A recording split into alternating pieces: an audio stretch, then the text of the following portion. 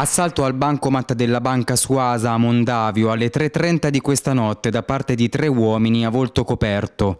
Il boato nella notte è stato udito da tutto il paese l'esplosione ha mandato in frantumi i vetri di molte finestre circostanti la piazza dove si trova lo sportello automatico andato completamente distrutto. Limitati i danni all'edificio, l'accorgimento usato da Banca Suasa di ancorare al terreno il bancomat ha limitato i danni strutturali.